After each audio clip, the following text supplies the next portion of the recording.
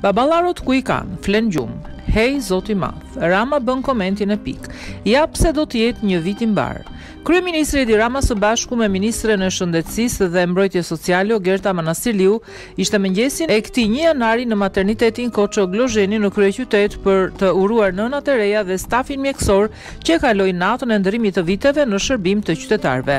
Gëzuar për shumë vjet nënave që sollën në jetë katërmbëdhjetë bebe në orët e para të Vitit të Ri në Tiranë dhe të gjitha familjet e reja shqiptare po ashtu, është shprehur Rama.